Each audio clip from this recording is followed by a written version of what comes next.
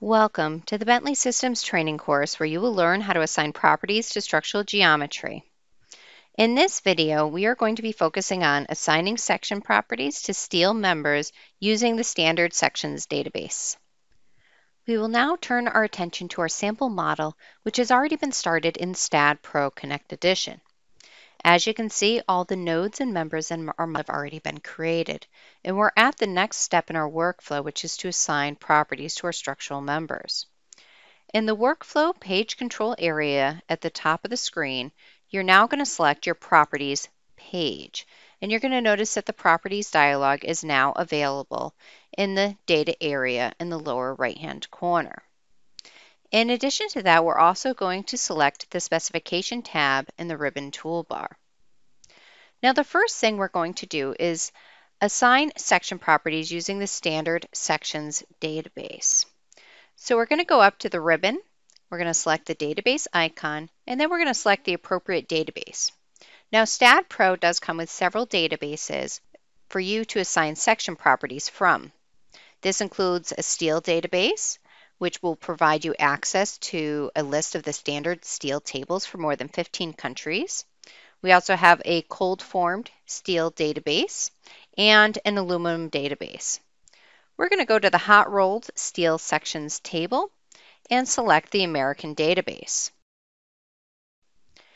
Now within this database, the different sections are organized by type of shape. So you're going to want to select all of the shapes that you anticipate using in your particular model. So I'm going to start with the W shape group for this particular model, and then I'm going to select whatever sections I want. I'm going to come down here and select a W14 by 30 section. I'm going to select my material as steel, and then I'm going to select any type of specification options that I want. I'm going to, for this exercise, select a ST, which is a single section from table. You also have an option to select a double profile or top plates or bottom plates as well.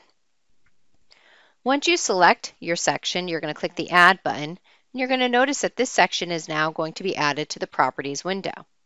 Now I'm going to stay in the American Steel Table dialog until I grab all of the sections that I anticipate using.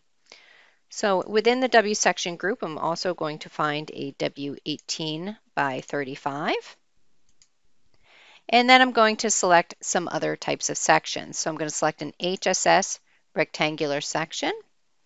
I'm going to select an HSS-T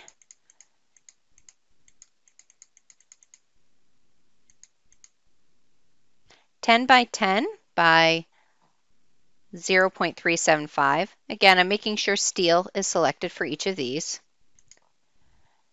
And then finally, I'm going to finish this off by selecting an angle section. I'm going to select an angle 4, 0.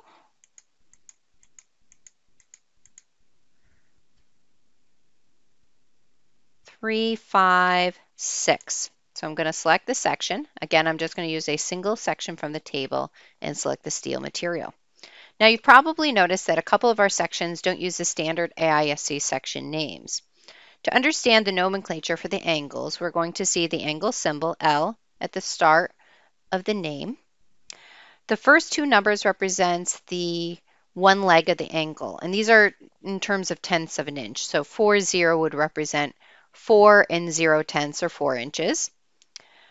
3, 5 would represent the second leg of the angle, so 3 and 5 tenths, or 3 and a half.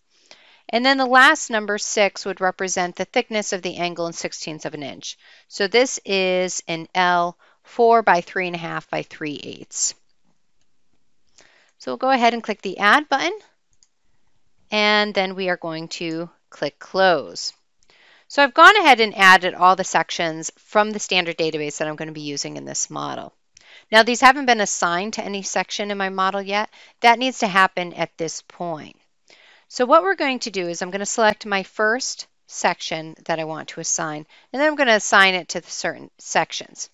Now if I take a look at my properties dialog, I have several different assignment methods I can utilize. I can use my cursor to assign, which basically means I'm just going to go around and click all the members that I want to assign it to. This is more of an active modeling mode type of feature. I can assign it to view, which is basically going to assign it to every member in the model.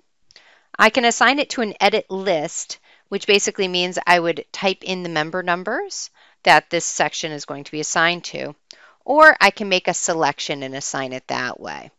And that's what we're going to do in this exercise. So I'm going to select my section I want to assign, and then I'm going to select the members I want to assign it to. Now for this particular model, I went ahead and set up some groups to make the assignment a little bit easier. So I'm going to assign this to my steel beams in the model. So now up in the ribbon toolbar, I'm going to click on the Select tab, and then I'm going to select by group. Once in this area, I can select the group that this is going to be applicable to, and I'm going to assign it to my steel beams.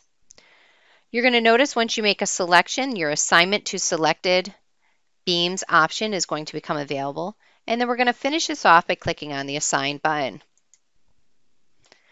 It's going to ask me if I would like to confirm this operation, and we're going to go ahead and say yes. And then I can go around and assign whichever other sections I want, and I'm going to use the same assignment process each time. So we're going to go ahead and assign, assign the 18 by 35. I'm going to start by selecting it, and this time I'm going to assign this to my steel girders. So I'm going to come over here and select my steel girders. I don't want to assign it to my steel beam, so at the same time I'm going to unselect those. Let's go ahead and finish this off with the next section. We're going to highlight our HSS 10 by 10 by 3 eighths. I'm going to assign this to my steel columns.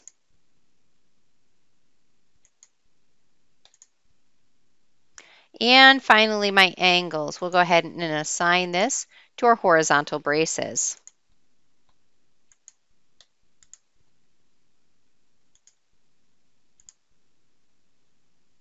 If you're done with the Select Groups dialog, you can go ahead and close it. Now, as we take a look over in our Properties dialog, we're going to notice that this Highlight Assigned Geometry button is currently selected. And with this option selected, as you click on each section, the program will go ahead and highlight those sections that were assigned that property.